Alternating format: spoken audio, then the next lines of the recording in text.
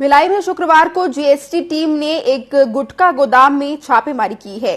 बताया जा रहा है कि छापेमारी के लिए गोदाम पहुँचे अधिकारियों को देखते ही गुटखा डीलर और मैनेजर गोदाम से भाग गया। गोदाम के मालिक ने भी फ़ोन बंद कर दिया है।